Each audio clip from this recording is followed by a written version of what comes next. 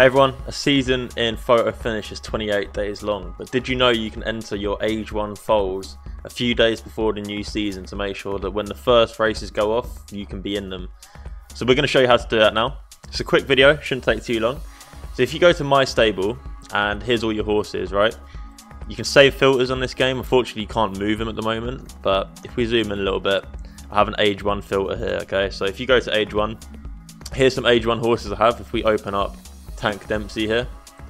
What you can actually do is press this Find Preferred Races button. Now, not many people actually know this, and uh, it's a bit of a bummer because if you go to Find Preferred Races, you see that most of these races are empty, and the entries close in about two days.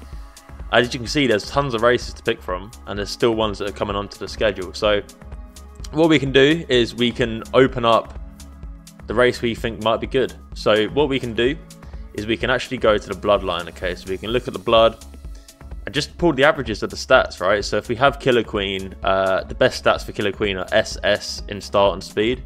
And as you can see, America's Most Wanted has pretty good finish, but also pretty good start and speed. So I'd probably be looking at entering in a, you know, four to six furlong race for this horse. Now, if you have breeding reports, you could also open up the breeding report. Okay, so we're on the breeding report now of Tank Dempsey, and you know, from this, there's a huge amount of places this horse could run. It's a pretty straight line, uh, but you can see that, you know, in my opinion, start seems to be quite strong on this horse, and speed seems to be quite strong with a good heart as well. So, you know, I definitely wouldn't be leading towards finish and stamina.